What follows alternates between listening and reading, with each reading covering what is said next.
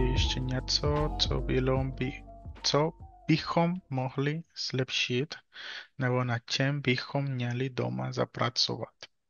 Tak, zapracovat, u, už, a, a, už znám, a to je zapracovat, a, když učíš někoho a něco poprvé? Tak ano. A taky to vlastně znamená zlepšit.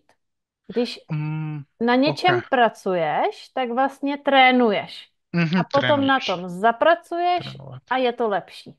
Mhm, Takže na něčem pracovat je něco trénovat mhm, a na něčem zapracovat znamená trénovat, trénovat, trénovat a zlepšit. mhm,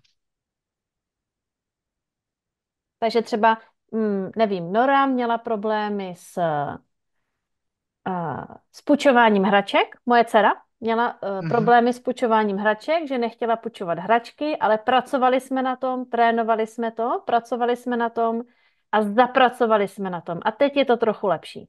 mm, mm.